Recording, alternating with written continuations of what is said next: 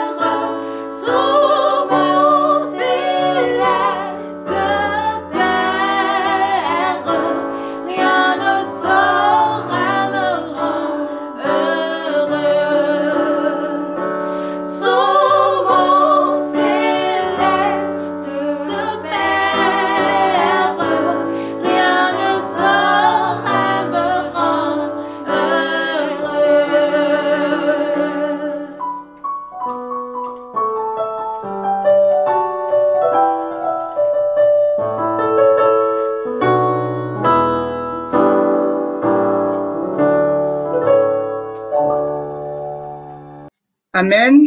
Nous disons merci à nos princesses de l'éternel. Nous allons voir un autre sujet, mais avant, nous allons prier. Éternel, Dieu trois fois saint, viens et sois avec nous. Permets que ta parole que nous allons écouter puisse nous faire du bien et que nous sortons avec des riches bénédictions prédispose le cœur et l'esprit de chacun d'entre nous au nom de notre Seigneur Jésus-Christ. Amen. Notre grand thème, c'est la vraie prospérité. Et aujourd'hui, nous allons voir un autre sujet qui est l'ennemi de la prospérité. L'ennemi de la prospérité. Dans 2 Timothée 3, versets 1 à 5, nous lisons Sache que dans les derniers jours, il y aura des temps difficiles, car les hommes seront égoïstes. Éloigne-toi de ces hommes-là. C'est intéressant de noter que l'égoïsme est premier sur la liste des principales caractéristiques des derniers jours dans les derniers jours, nous sommes tous dans les derniers jours, les gens seront très égoïstes. Ils penseront à soi. Et l'amour de soi est le péché fondamental, d'où découlent tous les autres. On ne fait que penser à soi. Moi en premier. Et notre sœur Hélène White nous dit, dans Conseil à l'économe, page 27. Considère aussi l'égoïsme comme le problème fondamental de l'humanité. L'égoïsme constitue la racine de toute dépravation et du fait que les êtres humains se sont soumis à son pouvoir. Le monde d'aujourd'hui offre le spectacle de la désobéissance à Dieu. Les nations, les familles et les individus sont pénétrés du ferment de l'égocentrisme. Nous voyons aujourd'hui, on pense à soi. Ce que nous avons, nous trouvons que c'est peu, au point que nous ne partageons pas avec les autres. En tout, on pense à soi et nous d'abord. Cette situation existe parce que cela reflète une caractéristique fondamentale du prince de ce monde. L'esprit d'égoïsme est l'esprit de Satan. Donc je peux dire, celui qui est égoïste est un agent de Satan. Celui qui pense à soi est comparé à un agent de Satan qui est touché par le problème de l'égoïsme. Qui est touché par le problème de l'égoïsme? Paul décrit-il seulement la condition morale qui prévaut en société avant la seconde venue de Jésus? Aujourd'hui, il y a des problèmes qui découlent dans nos sociétés. Et si on veut les lister, l'égoïsme est en premier. Les versets 5 à 8 donnent certains indices au sujet de l'identité de ces amoureux d'eux-mêmes. Ils ne pensent qu'à eux-mêmes. Ils ont l'apparence de la piété. Ils s'introduisent dans des maisons, apprenant toujours ces hommes. On ne fait que penser à soi. Moi en premier.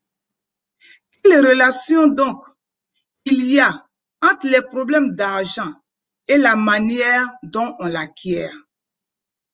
La fin justifie-t-elle toujours les moyens?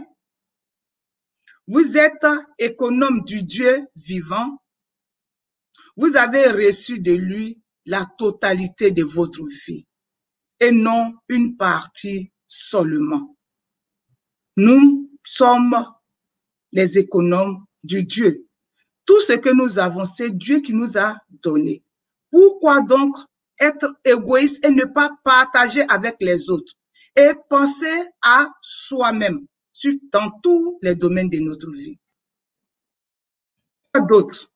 Sinon le égoïste de l'homme pourrait nous obliger à dépendre des méthodes commerciales, des fêtes récréatives et d'intrigues pour obtenir les fonds nécessaires au programme divin sur la terre. Qu'est-ce qui fait qu'on est égoïste? Parce qu'on a beaucoup de besoins. Et on se dit, si nous partageons avec d'autres, on ne pourra pas atteindre ce que nous projetons faire. La vraie prospérité, son ennemi, c'est l'égoïsme.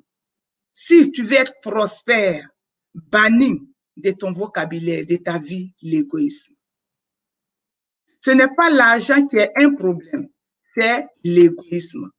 Satan sait que s'il réussit à concentrer notre attention de l'homme sur les choses périssables de ce monde, celui-ci verra trouble.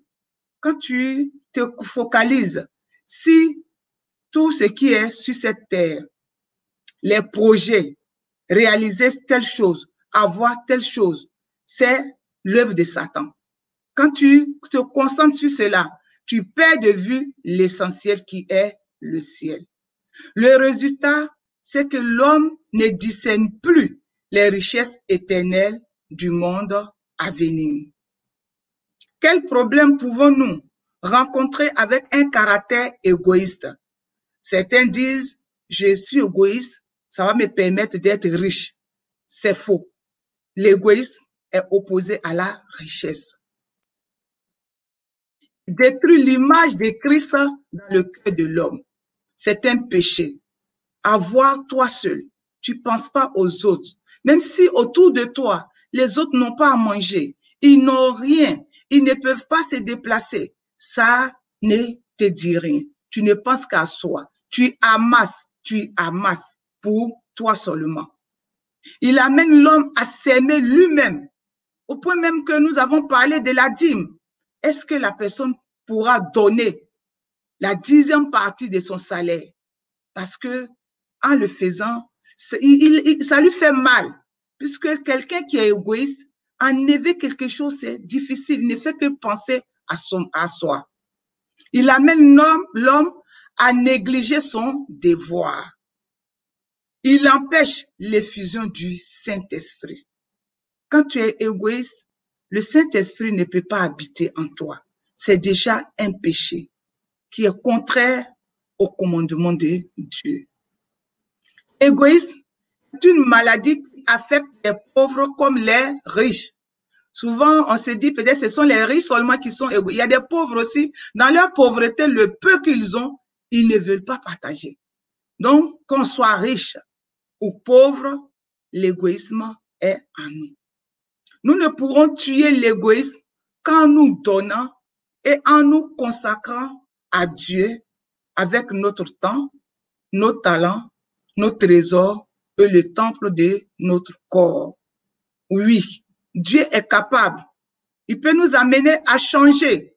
Il peut nous amener de l'égoïsme à être quelqu'un qui partage, à être généreux, en mettant Dieu, en lui disant de nous visiter, en lui disant, voici mon problème, aide-moi. Dieu viendra à notre secours.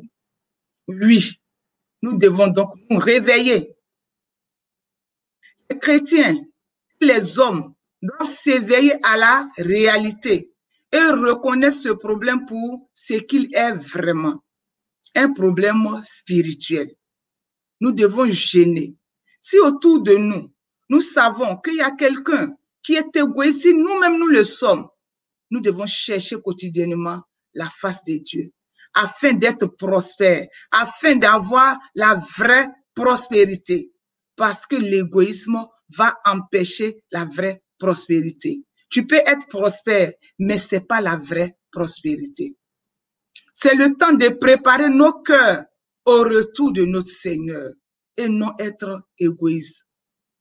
En le dépouillant de ses infimités. Mais pour gagner des âmes, il faut commencer par un engagement personnel. Chacun doit s'engager à travailler pour Dieu, se donner soi-même au Seigneur voilà la base d'un service acceptable. John Wesley avait remarqué que plus les membres d'un groupe religieux prenaient leur religion au sérieux et plus ils accumulaient des biens matériels et plus ils accumulaient, plus ils avaient tendance à devenir prisonniers de ces biens matériels au point de devenir matérialiste et avare. Quand on accumule les biens, souvent peut-être tu vas dormir, tu ne, ton sommeil est troublé parce que ta tête est sur ce que tu as de côté. Si quelqu'un t'appelle pour un besoin, tu es déjà malade. Est-ce que je vais enlever un peu sur ce que j'ai? Ça, c'est l'ennemi de la vraie prospérité. Tu te dis tu es prospère, mais c'est pas selon la volonté de Dieu. Il déclara qu'il ne voyait aucune solution à ce problème, à moins que ceux qui avaient gagné tout ce qu'ils avaient donnent aussi tout ce qu'ils pouvaient. Ce qui signifie que le désir d'acquérir des biens matériels est bon, pourvu que la raison motivant leur acquisition soit des données plus pour faire le bien autour de soi. Oui, on peut avoir les biens. Avoir des biens, c'est pas mauvais. Mais quand on a des biens, il faut partager avec ceux qui sont autour de nous. Ça sert à rien d'accumuler et penser à soi. si quand on pense à soi, nous sommes prospères, mais c'est pas la vraie prospérité. Parce que cette prospérité peut s'évader d'un moment à l'autre. Parce que nous ne mettons pas celui qui nous a donné cette prospérité qui est Dieu en premier. Les amis, bien-aimés dans le Seigneur, le cancer de l'égoïsme est le trait de caractère prédominant qui prévaut dans la société, dans l'Église et même dans la vie du croyant. On ne devrait pas s'accommoder de cette situation, mais la vaincre. Si nous savons que nous avons des traits d'égoïsme en nous, gênons, prions, demandons à Dieu afin que nous arrivions à vaincre cela. Nous avons un conseil de l'apôtre Pierre, nous dit dans 1 Pierre 5, verset 8, Soyez sobres, veillez, votre adversaire, le diable, rôde comme un lion rugissant, cherchant qui il dévorera. Donc, si nous sommes égoïstes, si nous pensons à nous, l'ennemi est là et il va atteindre, il risque même de s'attaquer à nos biens. Si nous voulons vaincre l'égoïsme, l'un des grands ennemis de la vraie prospérité, qui est notre thème principal, dans cette génération actuelle, notre première stratégie devrait être de cultiver notre propre jardin de prière personnelle. Prions, demandons à Dieu de changer nos caractères.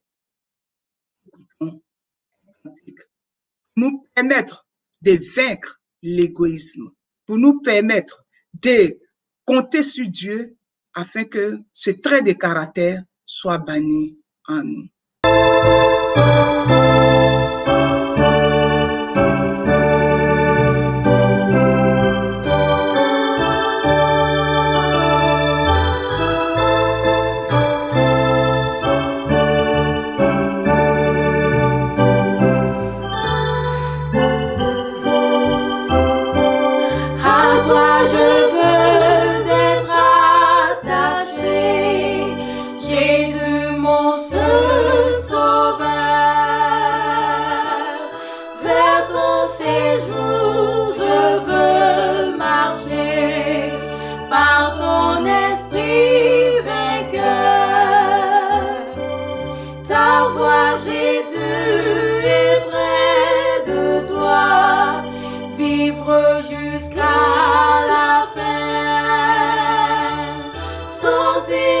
Bonjour.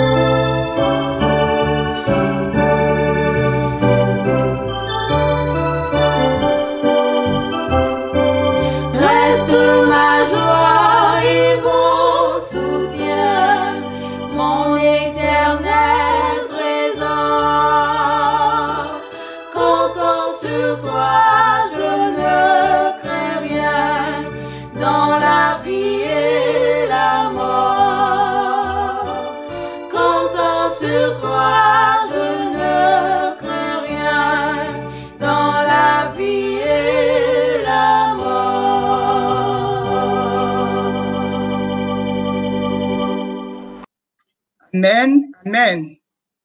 Oui, nous devons avoir une consécration personnelle de notre corps, de nos esprits et de nos âmes au Seigneur Jésus-Christ. C'est en faisant cela que nous serons victorieux. Voulons-nous vraiment être guéris de ce mal? Je vous invite, je m'invite moi aussi à la prière afin que Dieu puisse nous aider à vaincre l'égoïsme, afin que nous soyons prospères, parce que nous venons de voir l'ennemi de la vraie prospérité, c'est l'égoïsme. Que Dieu nous aide à vaincre cela au nom de Jésus. Amen. Nous allons prier Éternel, Dieu Tout-Puissant, nous voulons être prospères. Nous voulons expérimenter la vraie prospérité. Nous ne voulons pas la prospérité qui est périssable. Nous voulons être prospères selon toi, ta parole. Seigneur, faire en sorte que si nous sommes égoïstes, que cet esprit-là soit bouté hors de notre vie au nom de Jésus-Christ. Tu connais toutes les personnes qui nous écoutent. Tu connais leur vie plus que moi-même. Oh Seigneur, visite chacun d'entre nous et permets que nous soyons prospères, que nous ne soyons pas égoïstes, car l'égoïsme vient l'éternel Dieu de Satan. Et nous sommes tes enfants.